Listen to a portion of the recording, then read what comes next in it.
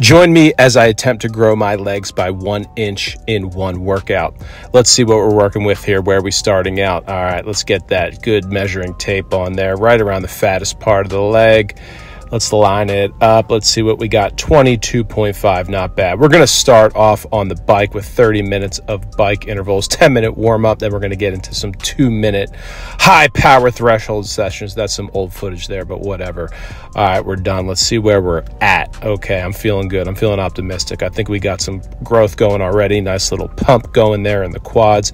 What do we got? What do we got? Let's see. Zoom it in. Come on, Dennis. Let's let's go. Let's go. 22.75. All right, quarter inch. All right, next up, we're gonna squat.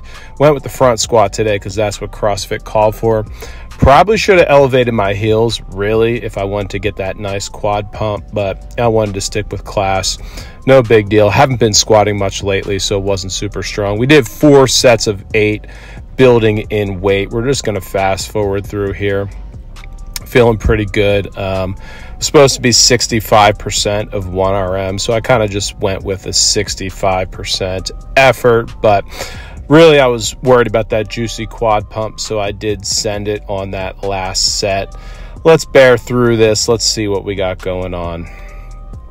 All right, looking good, looking good. Man, the suspense is killing me. One inch in one day. Is it possible? You think it's all possible? Stick around. I'm telling you, you're, you're going to love it. You're going to love it. I think it's possible. Okay, let's see. Let's see. This is after squats. Workout's over if I get there. Workout's over if I get there. Let's see. All I care about today is that juicy quad pump. 23. All right, we're a half inch, half inch. Dang, what's next? All right, well, since I was in CrossFit class, I jumped into the Metcon.